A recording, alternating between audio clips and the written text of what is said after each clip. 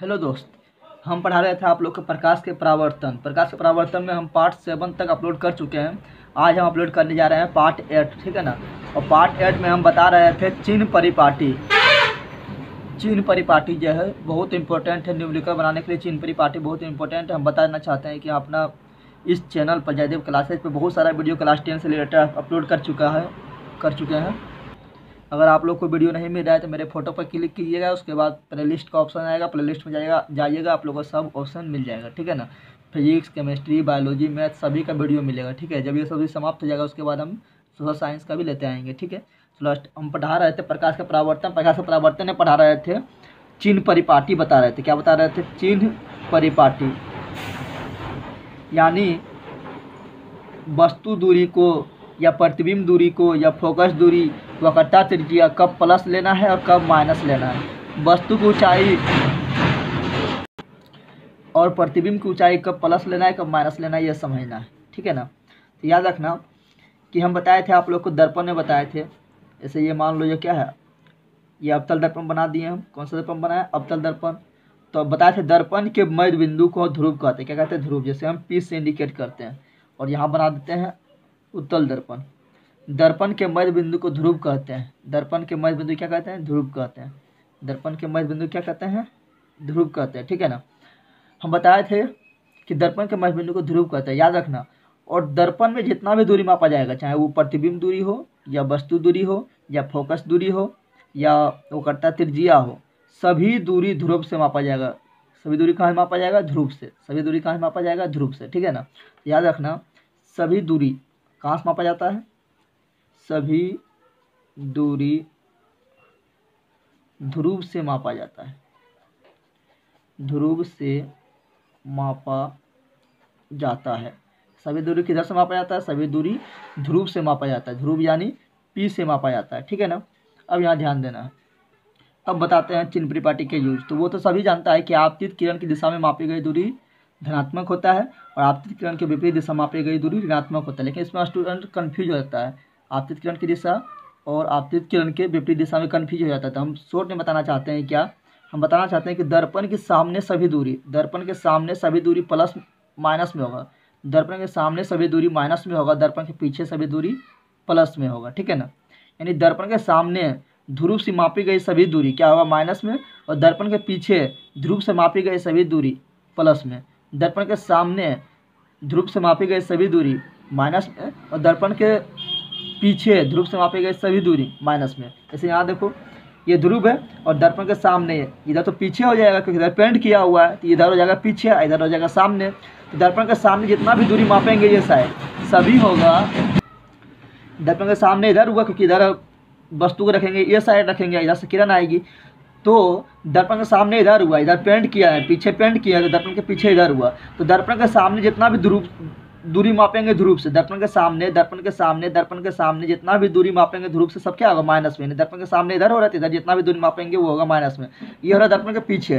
तो दर्पण के पीछे जितना भी दूरी मापेंगे ध्रुव से ध्रुव से वो सब क्या होगा पॉजिटिव क्या होगा पॉजिटिव उसी प्रकार यहाँ पर। इधर पीछे तो पेंट कर, इधर पेंट किया हुआ तो ये हो गया पीछे और ये हो गया आगे। यानी जिधर हम अपना चेहरा देखेंगे, जिधर वस्तु को रखेंगे, वो हुआ सामने। और जिधर पेंट किया हुआ, जिधर पेंट किया हुआ है, वो हुआ पीछे। तो ये हुआ सामने। तो ध्रुव से दर्पण के सामने, ध्रुव से दर्पण के सामने की ओर मापी गई सभी दूरी क्या होगा? माइनस। यानी सामने सभी दूरी माइनस और पीछे सभी दूरी प्लस। ठीक है ना? आप लोग समझ गए होंगे। तो बताओ, ये बनाए हम अवतल दर्पण। क्या बना है? अवतल दर्पण। और एक एक अवतल दर्पण और हम बनाते हैं इस तरह करके।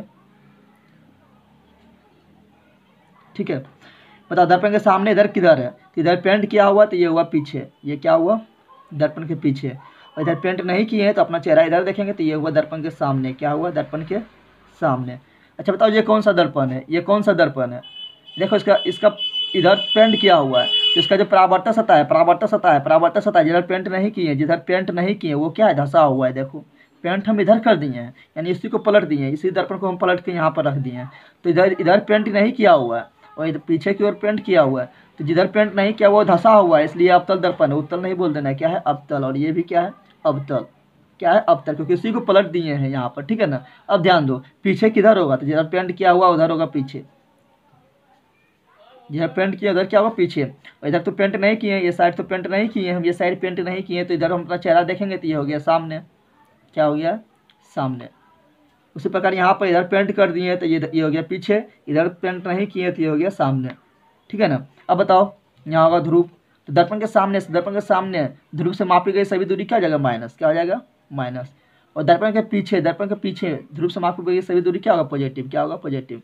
यानी इससे हमको ये समझना है, ये नहीं मत रट लेना कि इधर सब प्लस होता है, इधर माइनस होता है, ये मत मत रट लेना। क्योंकि हम दर्पण को पलट देंगे तो देखो, यहाँ पर हो रहा था, इधर सब सामने होगा तो माइनस और पीछे होगा तो प्लस तो देखो यहाँ माइनस था, लेकिन यहाँ हो गया प्लस क्योंकि दर्पण को पलट दिए हैं। तो बस इतना तुम लोग याद रखना कि पीछे प्लस होगा तो यहाँ पीछे इधर हो रहा है तो यहाँ पे प्लस यहाँ पीछे इधर हो रहा है तो यहाँ प्लस यहाँ सामने, यहाँ पर हो रहा है तो माइनस यहाँ सामने इधर हो रहा है तो माइनस ठीक है ना? तो बस इतना याद रखना कि दर्पण के सामने सभी दूरी ध्रुव से मापी जाती है वो माइनस में, और दर्पण के पीछे प्लस में। ठीक है ना? अब बताना है। अब बताना है पृथ्वी की ऊंचाई और वस्तु की ऊंचाई किसमें ले तो देखो, ये है मुख्य खच ये क्या है? मुख्य खच ये मुख खच ये मुख्य खच तो मुख खच के अगर ऊपर रहा वस्तु, मुख खच के अगर ऊपर रहा वस्तु या प्रतिबिंब तो उसको लेना है प्लस में। क्या लेना है? प्लस में। चाहे किसी और हो, इस और हो या इस और हो, सिर्फ़ मुख कच के ऊपर होगा तो वो होगा प्लस में। ठीक है ना? अगर मुख कच के नीचे रहेगा, मुख कच के नीचे रहेगा, चाहे किसी और, इस और या इस और, किसी और है तो उसको लेना है माइनस में। किसमें लेना है? माइनस में। ठीक है ना? मुख कच के ऊपर रहेगा, चाहे इस और हो, सामने हो या पीछे हो तो ऊपर रहेगा तो लेना है प्लस में। किसमें लेना है? प्लस में। अगर मुँह कच के नीचे हो, ठीक है ना? चाहे इस और हो या इस और हो तो ऊंचाई लेना है माइनस में। उसी प्रकार यहाँ पर मुँह कच के ऊपर रहेगा तो प्लस में, और मुँह कच के नीचे रहेगा तो माइनस में। ठीक है ना? तो मुँह कच तो ऊंचाई जब लेंगे तो मुँह कच के ऊपर रहेगा तो प्लस और नीचे रहेगा तो माइनस। अब बताना है तुम लोग को। चलो अब कुछ तुलना करते हैं, अगर आप आप लोग को अच्छा समझना है। अवतल दर्पण। चलो अवतल दर्पण बनाते हैं। ये हुआ है अवतल दर्पण। ठीक है ना? और यहाँ बनाते हैं उत्तल दर्पण। क्या बनाते हैं? उत्तल दर्पण। ठीक है ना? अब यहाँ ध्यान दो, ये हुआ अवतल दर्पण, ये हुआ उत्तल दर्पण, ये हुआ ध्रुव, इसका ध्रुव यहाँ पर। अब बताना है फोकस दूरी वो कता तेजिया पहले देखो, गोल ये किधर हो रहा है? गोल इधर होगा। गोल इसका इधर होगा, गोल बनाएँगे तो केंद्र होगा, कहीं ना कहीं तो केंद्र यहाँ मान लिए। तो ये हुआ सी हम जानते हैं कि ध्रुव और केंद्र के, ध्रुव और केंद्र के मध्य बिंदु में क्या होता है? फोकस। क्या होता है? फोकस। उसी प्रकार यहाँ पर देखो। यहाँ पर इसको गोल करेंगे तो गोल इधर होगा, पीछे की ओर गोल होगा ये, क्योंकि पेंट पीछे की ओर किए हैं तो यानी पीछे की ओर गोल हो रहा है और इसमें गोल आगे की ओर हो रहा है, सामने की ओर हो रहा है। अब बताओ, जब गोल ये पीछे की ओर हुआ है तो इसका कहीं ना कहीं केंद्र होगा तो मान लिया केंद्र यहाँ है। और जानते हैं ध्रुव और केंद्र के मध्य बिंदु में, के मध्य बिंदु में, ध्रुव और केंद्र, ध्रुव ध्रुव और केंद्र के मध्य बिंदु में क्या होता है? फोकस बिंदु। क्या होता है? फोकस बिंदु। ये पता चल गया है। अब बताओ, दर्पण के सामने सभी दूरी क्या होता है? माइनस। दर्पण के सामने सभी दूरी क्या होता है? माइनस। दर्पण के सामने सभी दूरी क्या होगा? माइनस। दर्पण के पीछे सभी दूरी क्या होगा? प्लस। दर्पण के पीछे सभी दूरी क्या होगा? प्लस। अब बताओ। फोकस दूरी देखेंगे अवतल दर्पण में। तो अवतल दर्पण में देखो फोकस कहाँ है? दर्पण के सामने है। अवतल दर्पण में अवतल दर्पण हुआ। अवतल दर्पण में अवतल दर्पण में फोकस कहाँ है? दर्पण के सामने है। तो फोकस दूरी भी क्या होगा? सामने होगा। ध्रुव और फोकस। ध्रुव और फोकस के बीच की दूरी को फोकस दूरी कहते हैं। तो फोकस दूरी हो गया दर्पण के सामने। और दर्पण के सामने सभी दूरी क्या होता है? माइनस में। यानी फोकस दूरी भी होगा माइनस में यानी निगेटिव क्या होगा? निगेटिव माइनस यानी निगेटिव अब यहाँ देखते हैं उत्तल दर्पण में। उत्तल दर्पण में फोकस बिंदु पीछे है। उत्तल दर्पण में फोकस बिंदु पीछे है। तो ध्रुव और फोकस के बीच के दूरी को फोकस दूरी कहेंगे फोकस दूरी कहेंगे। और फोकस दूरी पीछे और हो रहा है तो पीछे क्या होता है? प्लस में। क्या होता है? प्लस में। इसलिए उत्तल दर्पण में उत्तल दर्पण में फोकस दूरी क्या होगा?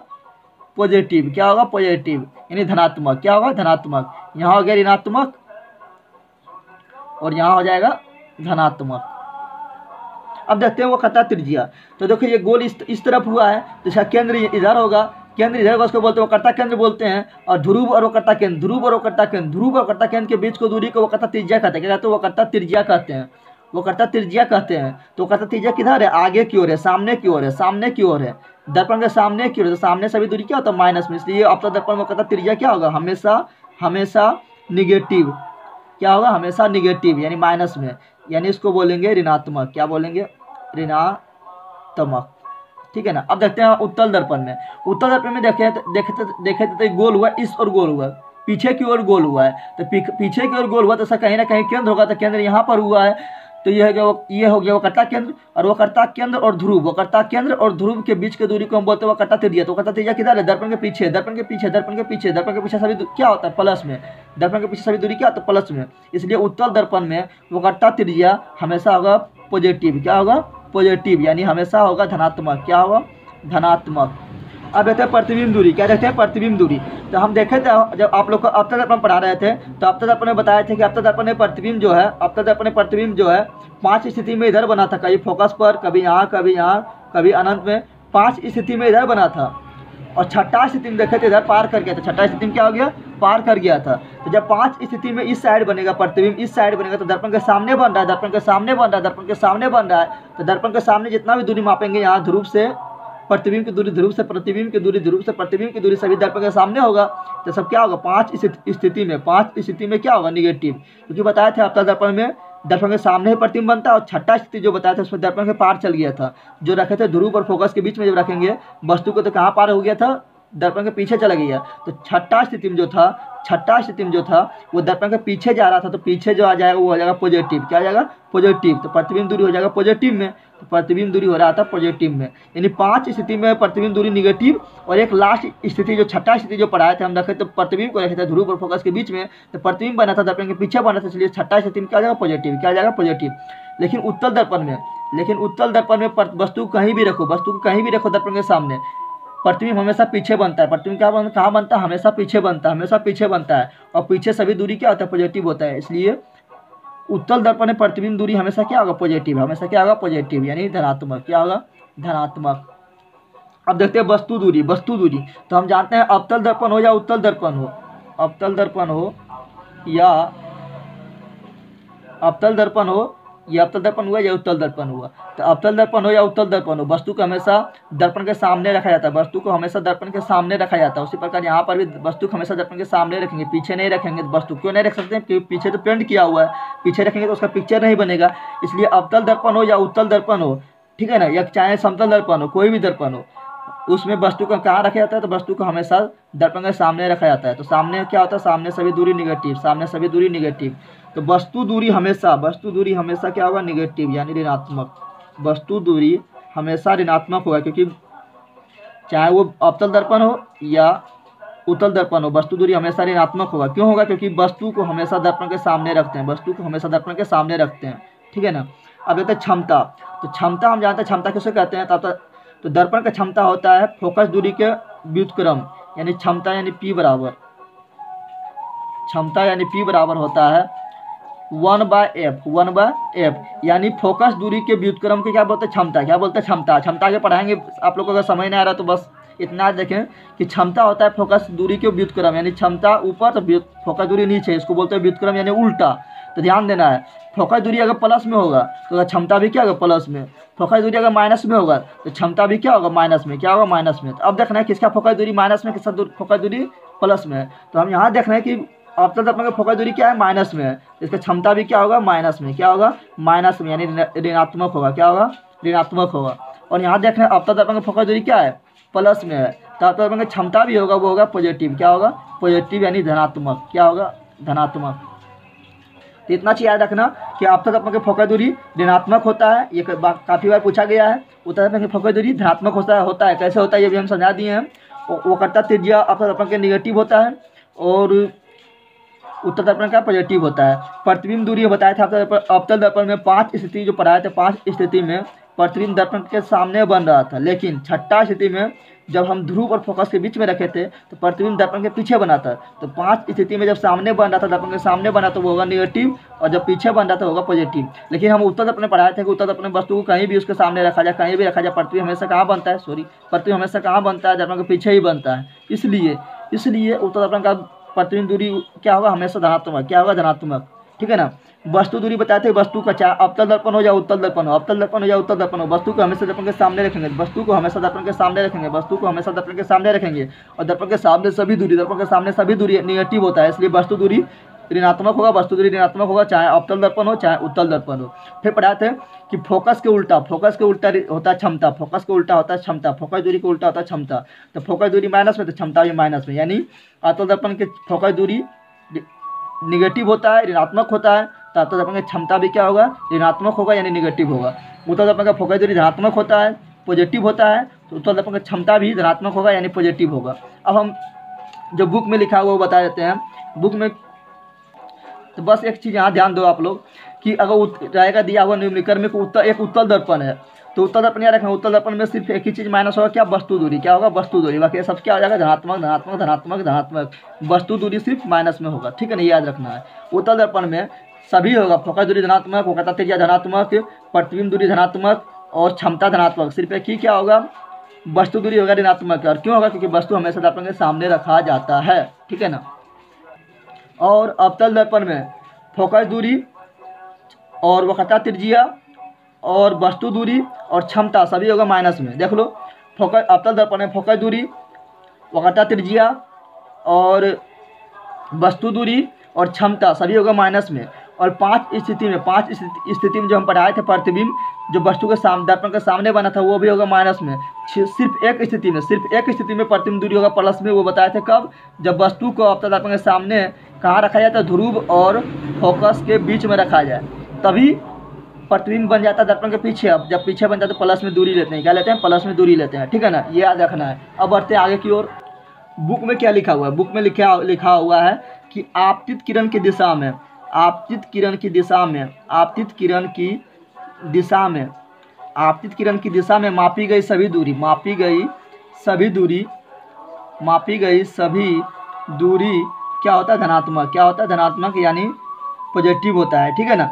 धनात्मक होता है और विपरीत दिशा में, आपतित किरण के विपरीत दिशा में, आपतित किरण के विपरीत दिशा में, आपतित किरण के विपरीत दिशा में, आपतित किरण के विपरीत दिशा में मापी गई मापी गई सभी दूरी, मापी गई सभी दूरी निगेटिव होता है, यानी ऋणात्मक होता है। क्या होता है? ऋणात्मक होता है। लेकिन हम पहचाने के नियम क्या बताए थे? ये आप लोग को याद रखना है, लेकिन हम पहचाने नियम क्या बताए थे? दर्पण के सामने सब माइनस दर्पण के सामने सभी माइनस और दर्पण के पीछे सभी प्लस दर्पण के सामने सभी माइनस और दर्पण के पीछे सभी प्लस देख लेते हैं कैसे आपतित की दिशा में मापे गए सभी दूरी ऋणात्मक होता है, और उसके विपरीत दिशा में आपतित के विपरीत दिशा मापे गए सभी दूरी कैसे ऋणात्मक होता है, ये देख लेते हैं। ठीक है ना? जैसे देखो, ये क्या है? अवतल दर्पण है। ठीक है ना? अब देखो यहाँ पर वस्तु है, क्या है? ये ध्रुव हो गया। यहाँ पर वस्तु है तो वस्तु से प्रकाश जा रहा है, किस ओर? इस दिशा में जा रहा है, ठीक है ना? अब देखो ध्रुव से ध्रुव से अगर हम माप लो, मान लो कि इधर हम दूरी माप रहे हैं, किधर मान रहे, माप रहे हैं दूरी? मान लो यहाँ फोकस है, यहाँ पर क्या है? वक्रता केंद्र है तो फोकस दूरी माप रहे हैं, हम क्या माप रहे हैं? फोकस दूरी, क्या माप रहे हैं? फोकस दूरी, ठीक है ना? तो फोकस दूरी माप रहे हैं हम अगर तो ध्रुव से फोकस दूरी मापेंगे तो इधर जाना पड़ेगा, समझो यहाँ पर। ध्रुव से ध्रुव से ध्रुव से फोकस दूरी मापेंगे फोकस दूरी मापेंगे तो हमको इधर जाना पड़ेगा, इधर जाना पड़ेगा। तो किरण जा रहा है इधर और हम जा रहे हैं इधर। किरण जा रहा है इधर और दूरी माप रहे हैं हम इधर। तो हो गया ना, विपरीत हो गया ना? किरण जा रहा है इधर हम हम दूरी माप रहे हैं ध्रुव से फोकस की ओर। तो दिशा उल्टा हो गया, दिशा उल्टा हो गया तो वही विपरीत दिशा में मापे गए सभी दूरी क्या होता है? निगेटिव इसलिए फोकस दूरी होगा निगेटिव और ऐसे बोलो कि दर्पण के सामने निगेटिव होता है, वो हम शॉर्ट में बताए थे। अब देखो वो करता केंद्र। यहाँ पर है और ध्रुव यहाँ पर है। तो बता तो ध्रुव और वक्रता केंद्र के बीच के दूरी, ध्रुव और वक्रता केंद्र के बीच की दूरी क्या होता है? वो कट्टा त्रिज्या, क्या होता है? वो कट्टा त्रिज्या, वो कट्टा त्रिज्या मापते हैं। तो ध्रुव से हमको जाना पड़ेगा वो कट्टा केंद्र तक, ध्रुव से हमको जाना पड़ेगा वो कट्टा केंद्र तक, और हम किरण जा रही इस ओर और हम दूरी माप रहे हैं इस ओर। तो ये उल्टा हो गया है विपरीत हो गया है किरण जा रही इस ओर और हम दूरी माप रहे हैं इस ओर। तो क्या हो गया? उल्टा हो गया है विपरीत हो गया है तो इसलिए वो कट्टा त्रिज्या क्या होता है? निगेटिव क्या होता है? निगेटिव अतल दर्पण की अतल दर्पण की वक्रता त्रिज्या क्या होता है निगेटिव अब देखते हैं वस्तु दूरी। वस्तु कहाँ पर है? यहाँ पर। वस्तु कहाँ पर है? यहाँ पर। तो हम जा रहे हैं, किरण जा रहा है इधर। हम दूरी मापेंगे कहाँ से? सभी दूरी ध्रुव से मापा जाता है। सभी दूरी ध्रुव से मापा जाता है। तो हम दूरी मापेंगे ध्रुव से तो जाना पड़ेगा इस ओर तो किरण जा रहा है इस ओर हम जा रहे हैं इस ओर तो विपरीत दिशा हो गया, विपरीत दिशा हो गया तो विपरीत दिशा मापे गए, सभी दूरी क्या होता है निगेटिव इसलिए वस्तु दूरी भी क्या होगा निगेटिव अब वस्तु दूरी तो निगेटिव होना ही क्योंकि वस्तु को हमेशा दर्पण के सामने रखते हैं। चाहे अवतल हो या उत्तल हो, अब देख लेते हैं उत्तल दर्पण में। उत्तल दर्पण है ये। आई गोल इधर होगा, इसका वक्रता केंद्र इधर होगा फोकस इधर होगा, और प्रकाश, यहाँ मान लो एक वस्तु है, और इधर जा रही है। ठीक है ना? प्रकाश अब यहाँ पर क्या है? ध्रुव है। तो देखो, ध्रुव और फोकस ध्रुव और फोकस ध्रुव और फोकस के बीच को दूरी को फोकस दूरी कहते हैं। अगर फोकस दूरी हमको मापना पड़ेगा। तो देखो, हम ध्रुव से इधर जाना पड़ेगा, ध्रुव से फोकस के बीच की दूरी तय करना पड़ेगा तो हमको जाना पड़ेगा इस ओर जाना पड़ेगा। तो ध्रुव और फोकस के बीच की दूरी को फोकस दूरी कहते हैं। तो हम देखो, दूरी मापना इस ओर। और प्रकाश भी जा रहा है इसी ओर। ध्रुव, दूरी माप रहे हैं इस ओर और प्रकाश भी जा रहा है इसी ओर। तो दोनों की दिशा क्या है? समान है।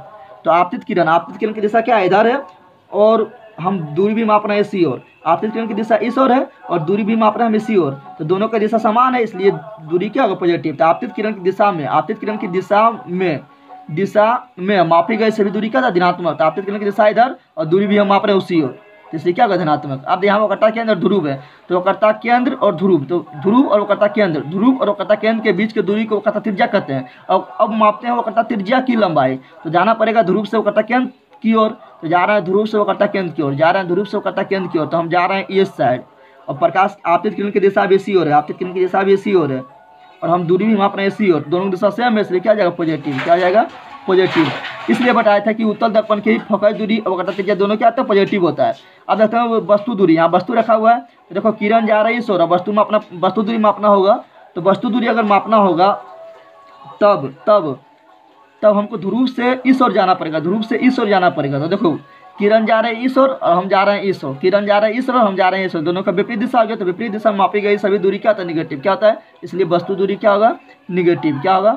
निगेटिव वस्तु दूरी क्या होगा? निगेटिव तो इसलिए बताया था कि वस्तु चाहे उत्तल दर्पण में हो या अवतल दर्पण में हो, वस्तु हमेशा दर्पण के सामने रहता है, वस्तु हमेशा दर्पण के सामने रहता है वस्तु हमेशा दर्पण के सामने रहता है, इसलिए वस्तु दूरी हमेशा निगेटिव होगा। तो आप लोग को इतना नहीं याद रखना है ठीक है ना सिर्फ़ इतना आप दिखने की दिशा गए सभी दूरी धनात्मक होता है बस ये ध्यान रखना है ठीक है ना बाकी बस आपको इतना याद रखना है कि दर्पण के सामने दर्पण के सामने दर्पण के सामने सभी दूरी माइनस में और दर्पण के पीछे सभी दूरी प्लस में दर्पण के सामने सभी दूरी माइनस में और दर्पण के पीछे सभी दूरी प्लस में एक बताया था क्या मुख के ऊपर मुख के ऊपर सभी दूरी प्लस में चाहे दर्पण के सामने हो या दर्पण के पीछे हो और मुख के नीचे सभी दूरी माइनस में चाहे दर्पण के सामने हो या दर्पण के पीछे हो ये बताए थे एक बात ये आप लोग को ख्याल रखना है तो आप लोग चिन्ह परिपाटी अच्छा समझ गए हैं। अब बढ़ते हैं आगे की ओर। तो आज इतना ही रखते हैं। कल हम बताएँगे, कल हम इस चैप्टर को समाप्त कर देंगे। ठीक है, प्रकाश के परावर्तन को समाप्त कर देंगे। कल हम बताएँगे एफ़ बराबर आर बाय टू कैसे सिद्ध होता है, ये बताएँगे। फिर बताएँगे एम बराबर माइनस वी बटा यू माइनस वी बटा यू कैसे सिद्ध होता है, ये बताएँगे। तो एफ़ बराबर आर बाय टू और एम बराबर माइनस वी बटा यू ये सिद्ध करेंगे। फिर बताएँगे हम फिर बताएँगे दर्पण सूत्र वन बाय एफ़ बराबर one by V plus one by U. ये बताएँगे, फिर पढ़ाएँगे क्षमता, दर्पण की क्षमता। लेकिन क्षमता इसमें नहीं होता है, दर्पण में क्षमता नहीं होता, लेंस में क्षमता होता है। क्या होता है? लेंस में क्षमता होता है, इसलिए लेंस में हम क्षमता पढ़ाएँगे, ठीक है ना? ये बताएँगे। चलो अब रिवीजन कर जितना चीज़ हम पढ़ाएँगे, उसका फटाक से रिवीजन कर लेते हैं। तो हम पढ़ा रहे थे चिन्ह परिपाटी, यानी चिन्ह कैसे यूज़ करना है? दूरी को कब माइनस लेना है, कब प्लस लेना है, वस्तु की ऊंचाई या दर्पण की ऊंचाई को कब प्लस लेना है, कब माइनस लेना है, ये बताए थे। हम सिंपल तरीका बताए थे कि दर्पण के सामने सभी दूरी माइनस सभी हम पहले ये बताए थे कि सभी दूरी ध्रुव से मापा जाता है, सभी दूरी ध्रुव से मापा जाता है, सभी दूरी ध्रुव से मापा जाता है। दर्पण के सामने सामने, दर्पण के सामने सभी दूरी माइनस में, दर्पण के सामने सभी दूरी माइनस में, दर्पण के पीछे सभी दूरी प्लस में दर्पण के पीछे सभी दूरी प्लस में, ठीक है ना? उसी प्रकार यहाँ पर भी दर्पण के सामने उत्तर दर्पण में भी उसी प्रकार दर्पण के सामने सभी दूरी माइनस में दर्पण के सामने सभी दूरी माइनस में दर्पण के पीछे सभी दूरी प्लस में। फिर हम बताए थे कि पर वस्तु की ऊंचाई या प्रतिबिंब की ऊंचाई का प्लस लेने का माइनस लेना, ऊंचाई का प्लस लेने का माइनस लेना। तो हम बताए थे बताए थे कि मुख्य अक्ष के ऊपर अगर वस्तु हो, चाहे वस्तु दर्पण के सामने हो या दर्पण के पीछे हो तो प्लस में लेना है। कब लेना है? प्लस में। यानी जब मुख कक्ष के ऊपर वस्तु हो, चाहे वो सामने हो या पीछे हो, कहीं भी हो तो प्लस में, और मुख कक्ष अगर नीचे हो, चाहे सामने हो या पीछे हो तो माइनस में। ठीक है ना? उसी प्रकार बताए थे उत्तल दर्पण का भी वही होगा कि वस्तु मुख कक्ष के ऊपर रहेगा तो प्लस में मुख कक्ष के नीचे रहेगा तो माइनस में। अब बताए थे आपका दर्पण उत्तर दर्पण में कुछ विशेष बात। बताए थे कि आपका दर्पण के फोकस दूरी क्या होगा? माइनस में, माइनस क्या होगा? क्योंकि उसका फोकस दूरी जो है, फोकस बिंदु जो है, वो दर्पण के सामने है, वक्रता केंद्र भी सामने है, इसलिए फोकस दूरी माइनस में लेकिन उत्तर दर्पण की फोकस दूरी प्लस में। वक्रता त्रिज्या उत्तर दर्पण का माइनस में और उत्तर दर्पण का वक्रता त्रिज्या प्लस में। फिर बताया प्रतिबिंब दूरी जो है पाँच स्थिति में अवतल दर्पण में हम देखे थे कि प्रतिबिंब दूरी, प्रतिबिंब वस्तु दर्पण के सामने बना था, प्रतिबिंब दर्पण के सामने बन रहा था पाँच स्थिति में।